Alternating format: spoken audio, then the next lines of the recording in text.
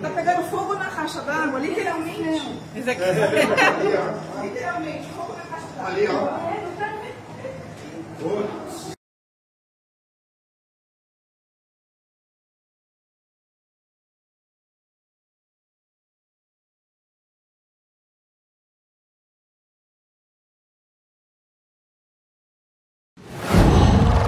Qual?